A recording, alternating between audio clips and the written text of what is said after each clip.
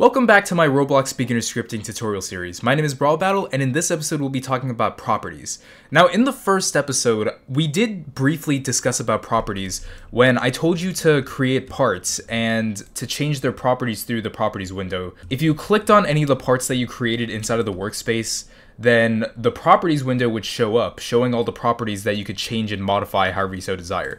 But this time, we're going to be doing something different with properties. This time, instead of modifying properties of an object through Roblox Studio, we're going to be doing it through script inside of a game while it's running. So what we're going to be doing is, from everything we learned so far, with printing, with data types, with variables, we're going to be taking all that and we're going to be modifying parts through script. When we run the game and test it, it's going to change that part when we actually run the game. So inside of the workspace over here, we'll click on the good old plus sign to create a new script right here. And we're going to rename the script to, let's say, property changes. That's what we're going to call it. And then, of course, we have uh, our default print statement. We'll just get rid of that.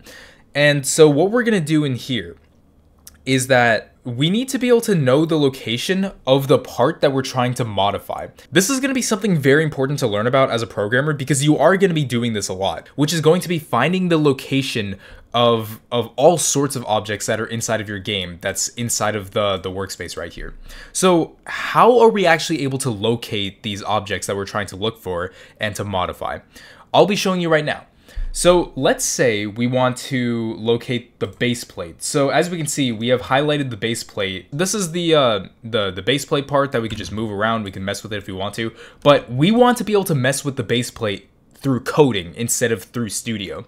And the way to locate base plate is by first getting a good understanding of the the hierarchy we have going on inside the Explorer. In the first episode, I explained how the contents of a game is made up of is through this hierarchy. So now let me show you how it works inside of coding. So first what we're going to do is we're going to um, first type in game because it's a data model that represents the entire game as a whole. So then what we're going to do next is how we're going to get to the second item is by putting a dot or a period.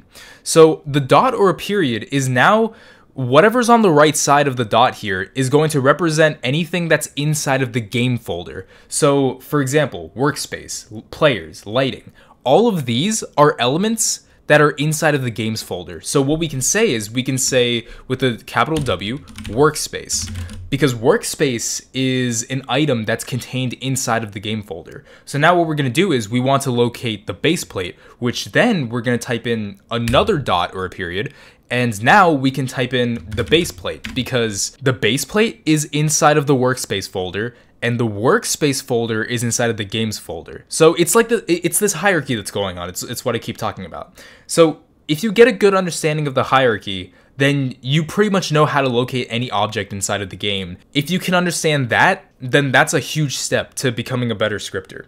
I mentioned that pretty much every object inside of Roblox contains properties.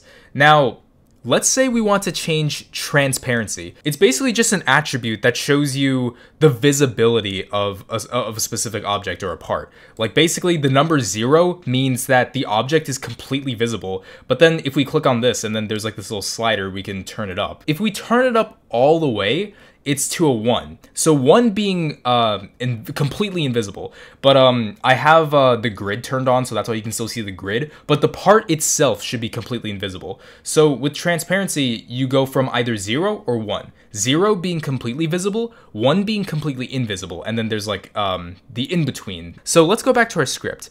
And like I mentioned with properties, properties are basically items inside of the base plate folder. That's like the best way I can describe it.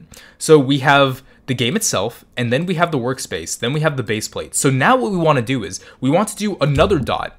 And now we have accessed every property that base plate has to offer. So what we want to say here is we want to say transparency because we want to update its transparency. So now the way we're going to do this is that we're going to set this equal. So we're going to say space equals space. So this is how we're going to modify one of the base plates' properties, which is transparency in this case, what we're going to do is we're going to set this equal to 1. We're getting the property directly. We're going into the game, we're going to the workspace, then we're going into the base plate, and then we're going into the base plate's transparency. We're going to be changing the base plate's transparency to 1. Because as you can see right now, the base plate's transparency is 0, but once we test the game and run and run the script, the game's base is now going to be changed to 1 because that's what we told it to do. So let's go back, let's hit test, and then hit play. And so when we load up the game, the base plate's transparency should now be invisible because we told the script that when we run the game, we will change the base plate's transparency to 1 to make it invisible. So as we can see, it clearly worked here. And, and that's great. That's what we wanted it to do. We want to incorporate variables into this property change. So let's drop two lines down here and this time what we're going to do is we're going to create a variable and set it equal to the base plate itself. That way we don't have to type game.workspace.baseplate every time to write the transparency. Because let's say because it's it's a way for us to avoid redundancy inside of our code. And what I mean by that is that we don't have to type in uh, game.workspace.baseplate baseplate dot transparency equals uh, equals zero or game dot uh, game dot workspace dot baseplate dot transparency transparency equals one. It's kind of annoying to type game dot workspace dot baseplate every single time. So what would be more convenient is to just make a variable that's a shorter name and then set that equal to game.workspace.baseplate so that we have a reference to the baseplate without having to type these three things every single time. So instead of this, what we're going to do is we're actually going to um, delete all this. And what we're going to do instead is we're going to create a variable again, type, we'll just call this uh, my baseplate. That's what we're going to call our variable. And then we're going to do space equals space and then we're going to say game, and then we're going to say dot workspace, and then finally we're going to put another dot and then say baseplate. So now what we can do here is that we have the base plate set equal to game.workspace.baseplate. So now every time we want to make a reference to game.workspace.baseplate, we could just say my baseplate. So what I mean by this is we can type in my baseplate and what we can do here is we can say dot transparency. We can just type in transparency right away because my baseplate represents game.workspace.baseplate. And so down here we can type in my plate dot my baseplate dot transparency equals one. Essentially, uh, it's the same thing as saying game.workspace.baseplate.transparency equals one. These two statements do the exact same thing because game.workspace.baseplate is obviously the part we want to change its properties of, but my baseplate up here references game.workspace.baseplate. So that's why down here we could just say my baseplate. Okay, now we just modified one property of the baseplate, but let's see if we can modify more. So instead of changing the transparency of my baseplate to 1, let's say we'll make it 0.5, and then we'll drop a line down here. So what we're gonna change now is let's change the material. If we click down here in this dropdown, we can see that there's all these different material options that we can choose from. We can change the we can change the property of baseplate if we want to, like so. We could just uh, click on any of these options here uh, to change the material of the base plate. But now what we want to do is we want to be able to change it through scripting. So what we can do here is we can type in my base plate again to reference game.workspace.baseplate. And then we'll put a dot here to say material this time. So we're going to so what we're going to do here is we're going to do space equals space again. But this time what we're going to do is you see that um, with each of these options here, they're not a number, that's for sure.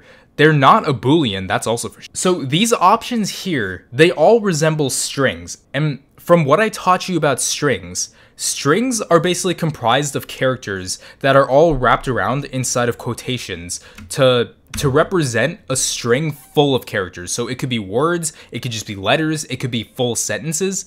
So it's kind of so that's kind of what strings are. We're going to type one of these materials inside of our my base plate dot material equals because we want to change the material to something else. So let's say we want to change the material to ice. We're going to do the double quotations and then we're just simply going to type ice. So now when we run the game, uh, the transparency should change, but also the material should change to ice. So if we run it, and as you can see, our base plate has changed its material to ice and also its transparency to 0.5 after spawning into the game. One more property we can change with the base plate is something that has a check mark. When you see a property that has a check mark, that means it can either be true or it can either be false. It can either be on or it can either be off.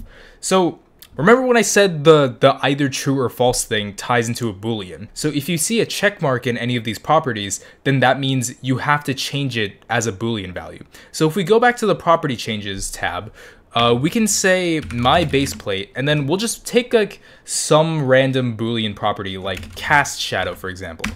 Uh, we can then change this to say equal to false instead of true. Because right now, the property of base plate for cast shadow is set to true, but we can then set it to false to make it not the case. So that's that's an example of changing a boolean property. So that's pretty much the basics of changing properties through scripting. It might seem kind of pointless right now, but trust me when I say that this is something that's very important to know about, and it is something that'll be very helpful later down the line in the future. So that's pretty much modifying objects inside of the workspace through scripting by changing its properties. In the next episode, we're going to be talking about comments and even more data types from the ones we already know, because we only know three of them so far, but there's definitely a lot more data types to learn about. Alright, well I hope you found this helpful, I will be catching you in the next episode, and take care.